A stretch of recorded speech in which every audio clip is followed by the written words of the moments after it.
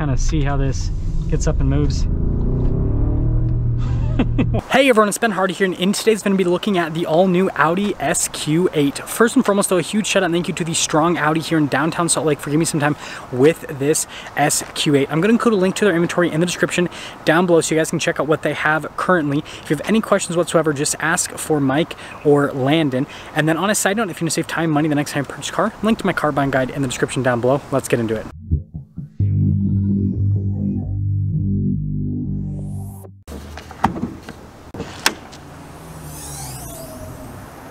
Under the hood, we have a 4-liter twin-turbo V8 that goes through an 8-speed automatic transmission. Fuel economy is 15 around town and then 21 on the highway, with power outputs being 500 horsepower at 5,500 RPMs and then 567 pound-feet of torque at 3,000 RPMs.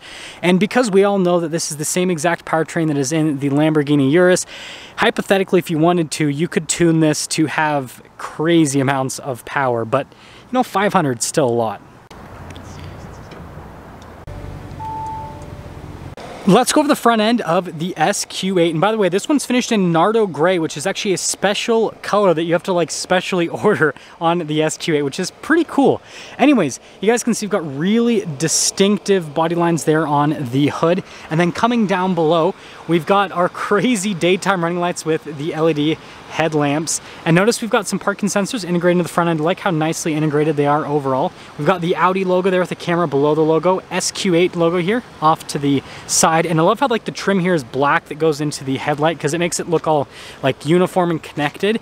And it gives this like a stormtrooper type appearance. I understand this isn't a white car, but it just, I don't know, it has a really distinctive cool look. Coming around the side here, our tire and wheel setup is 285 40 22 in the front and over in the rear as well. And then you guys can see the design on the wheels, how you've got the silver on the top and then it's kind of like this really dark metallic gray. It's almost like a black actually. I mean, maybe it is considered black and I'm just colorblind, but either way, darker on the inside portion of the wheel, which looks really cool. And then we've got our giant red brake caliper, which notice you have like the S logo on it, which is pretty neat. And then I love how the fender flares are body painted. That looks really good. And then you can see this black trim piece along the side. Mirrors are blacked out, window trim's all blacked out. And once you see it all together, that looks pretty sweet. There you go. So here's our key fob. Notice that, uh, well, nothing's happening there on the back, but on the front, we have our lock function, the opening for the trunk, the unlock, and the Audi logo. So we'll press this a couple times, and then I'll pop this right open. You guys can see we've got the cargo cover already built in. And notice we've got these controls here to raise and lower the rear end because this does have Audi's adaptive air suspension. So that's a pretty cool feature to have. And then we also have like a LED light here on the other side. And then notice the covering here is actually rubber so that you can just throw whatever you want. Great for places like Utah that snows. And then there's some more space underneath with our little spare if anything ever happens. You can get to the dealer and then you guys can see here with the metallic trim and overall super practical. And then when you're done you can lock it, you can just press that and that'll lower it back down and boom. Now finishing things up with the rest of the rear, you guys can see we've got the signature Q8 taillights which really cool again i love how audi has like sequential built into every single one of their taillight designs but obviously it has that like light bar appearance and then we've got the Audi logo SQ8 here on the other side and then we've got these really aggressive exhaust tips and then of course we have a receiver hitch in the center. This is my favorite part about performance SUVs is they'll have like a diffuser, aggressive exhaust tips and then receiver hitch because you know you can tell with them. So just interesting. Just imagine like a I don't know like a Lamborghini with like a receiver hitch in the center. That it, it's it's kind of like the same concept.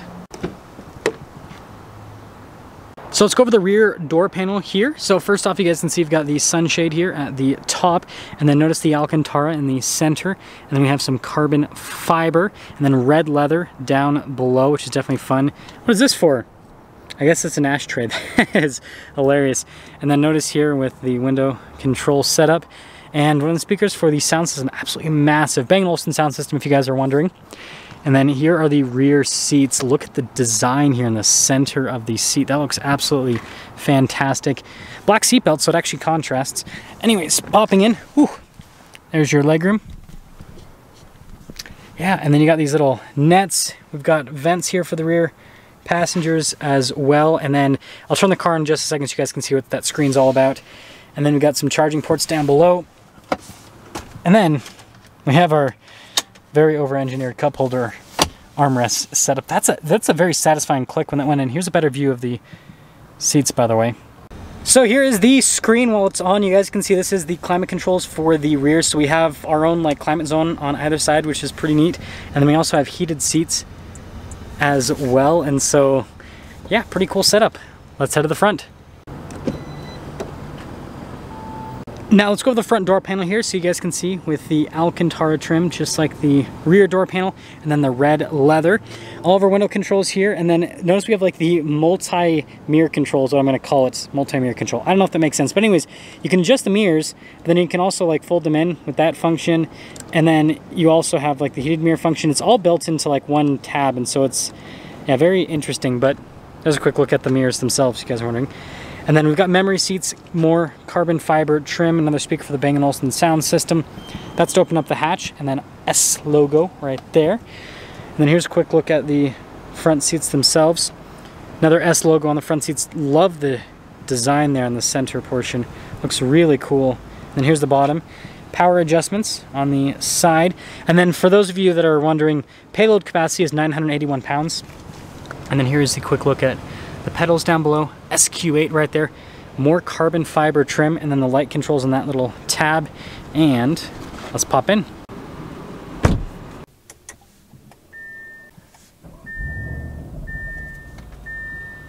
So here is our steering wheel for the SQ8. We've got really nice leather trim here at the top and at the bottom with our S logo. And then notice we've got that golf ball texture on the sides so can get a slightly better grip on it. And frankly, just feels cool. Paddle shifters here on the back for the 8-speed automatic. Some controls here for the center stack, voice command, volume, phone controls, all that on the other side. And then we have our turn signal stock, cruise control stock, windshield wiper stock, lots of stocks, but there's the steering wheel. So here is our gauge cluster. I love the RPMs front and center because I guess we're in dynamic mode right now, but overall really cool looking gauge cluster. And just like other Audis, it's like the virtual cockpit setup. So notice you got the navigation screen, but I can change the view. So like, boom, full screen now. So yeah, just tons of customization with the screen. You can see different bits of info and everything. And look at this with the navigation. I can zoom in and out with little scroll pad. I don't know. I think it's fun. Um, but overall, I think they did a good job. And look at that boost. So if I like floored a little bit. Hmm. Interesting. Anyways, there you go. So sorry about the like half lighting there on the screen, but anyways, let's pop it into reverse. You guys can see you've got a backup camera with trajectory lines that turn the steering wheel. And notice the camera turns when you turn that. This also has Audi's 3D view, so it gives you this 3D look on the exterior of the car, which is also fun. And then we have like a different like little angle thing so you can like choose, I guess, with that. If we go out of 3D, we have our full 360 view. So like, oh, that's cool. It like morphed. From a camera perspective, wow, that's interesting. It like zooms in. Yeah, this thing is fantastic. So moving on from that to the rest of the infotainment screen, you have a shortcut bar here on the side of the screen, and then you can just scroll regularly with all of this, so you guys can see there. And then you just kind of like lightly click to go into the different tabs. Now let's see if this has massaging seats. So we just go to the seat tab there, and temperature balance. Uh, we don't have massaging seat. It's okay. It's okay. I just I just wanted to see. Anyways, drive modes. This is the fun part. So you have to kind of click a little bit. We have our all-road mode, as if anyone would ever take this off-road. Comfort, auto, dynamic, individual. And I, I should like rephrase, all road is, you know, I you could technically use an off-road mode, but like also just like maybe deep snow or something like that. And notice that that adaptive air suspension is adjusting to a higher ride height, popping it into that mode. So the suspension will adjust depending on the drive mode that you go into, which is pretty cool. Now we have our secondary screen down below, so we're actually gonna turn that down a little bit. So dual zone climate system here for the front, heated and cooled seats in the front as well. Notice we got a hill descent control up there, and then that's for your garage door openers, and then like you can turn off the top screen if you want. So pretty cool functionality, and then the drive mode select is here at the bottom, stability control, and then stuff for the climate system, and then really like the volume control. The fact that it has a volume control is great, because a lot of cars are going away from that, but also just like, it looks nice from material standpoint. And then our red stop start button. Shifter for that 8-speed automatic, it's pretty simple. You just forwards and backwards, just like kind of like a traditional shifter, but obviously it doesn't like move. Uh, so it actually saves quite a bit of space and then just P for park and then really nice parking brake. And I'm really impressed with the material use like throughout in that section. And then look at the carbon fiber and the stitching and fit and finish is also really solid. So the center console actually uh, threw me a curveball. So to lift it up, you just lift it up. I know, counterintuitive, right? But then they have a tab on this, so you think, oh, I'm supposed to do the tab to lift it up, which I guess you technically can, but the tab is so you can pull it forward. So, yeah. Anyways, more carbon fiber here on the dash and then Quattro badge, and then really nice leather trim here at the top of the dash. And then you guys can see with the nice felt lined glove box. And then up at the very top, we've got the control star sunroof. So this is for the sunshade, that's for the roof itself. Panoramic sunroof, if you guys are wondering, and there you go.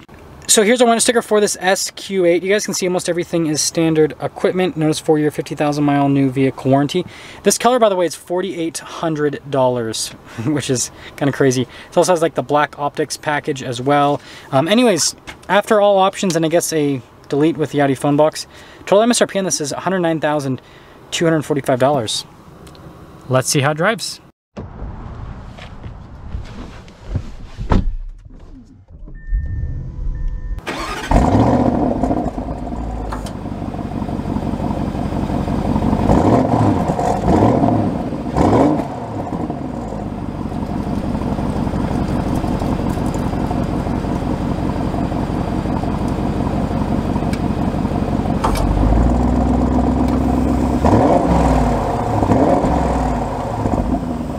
Well, let's talk about visibility before we set off. Here's your visibility over the hood with the heads-up display. Both of the mirrors, which do have blind spot monitoring. Then throughout the rest of the rear. And let's set off. So, setting off here in the SQ8. And funny enough, the only other Q8 I've driven is the RS Q8, and I've also driven the Lamborghini Urus, so Urus, however you want to say it. So I will be making some uh, comparisons with all of those vehicles. First off, seat comfort is amazing. I don't know why I look every single time because like there's people can't drive through that road right now, but it's still I just force a habit just to be safe. Um, yeah, like I said, seat comfort's great. The adaptive air suspension helps out quite a bit. Now, just like Audi's other S models and RS models, they do tune the suspension to just be kind of on the firmer side all the time, but there is a comfort setting, which I can pop it into. And, well, comfort in the name, right? It's supposed to make everything a little bit more uh, comfortable, and we'll kind of see on that. But that's just something to kind of understand is this is definitely tuned more towards the sporty side. So if you want like a more sporty, fun driving experience, yeah, you get that. But you also do have a slightly firmer uh, ride because of it. Oh, yeah, comfort setting helps out a massive amount. Like this is full on luxury car now. So yeah, that's the thing that's great about having air suspension is that you can just, you can adjust everything and just you know, make it nice and firm or make it softer depending on height and all that. So yeah, they did a great job with the suspension setup. I love the golf ball steering wheel. I used to not be like a huge fan of this, but like now that like time has gone on and other manufacturers have released like other types of steering wheels, I've now decided that I really like this like golf ball texture. I think that it's, I don't know, I, I think that's probably the route to go. Um, other stuff uh, with the SQ8, it's pretty quiet actually inside here. Like they they did a really good job with the cabin insulation. Like this can do all the normal luxury car stuff. And uh, like reviewing Audis over the last week, like I'm so impressed with the build quality inside these cars. That's one of the biggest things uh, with Audis. It seems like they just have really solid build quality, especially when you compare it to some other automakers. Now I just popped into the dynamic setting. Still pretty quiet. I will say that the uh, M RSQ8 and then the Lambo SUV, the Urus, are a little bit noisier than this, the exhaust, but this still sounds good. Still a V8. Still has that nice rumbly sound. Let's see how, yeah, transmission, ooh, you get like little crackles. Listen. That's fun. That is fun, that's for sure. Uh, so, great sounding exhaust. But let's get a little acceleration here and just kind of see how this gets up and moves. Whoa. Wow, yeah, that is that is as quick as I remember. So, here's the deal. With most day-to-day -day driving, the power difference between this and the RSQ8 and the Urus, it's not as substantial as you would think. This is still extremely quick. Um, the biggest thing is like top end, right? Top end, those are going to be pulling a lot higher. But like at the same time, are you really going to take this to the 160, 70, 80, 90 mile an hour speed limit, whatever they have? I think it's like 190 for the Lambo SUV. Are you really going to take it up to that amount of speed, right? Probably not. So here's the deal.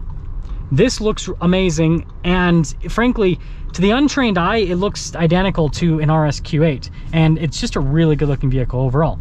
But it has the same engine, so like, if you really wanted the power, kind of like I said earlier, hypothetically, you could just take it, tune it, and basically have a similar acceleration experience at a fraction of the cost, especially when you compare it to the Lambo SUV, um, but also to the RSQ8 sibling. So yeah, I'm a big fan of the SQ8. Let me know what you guys think.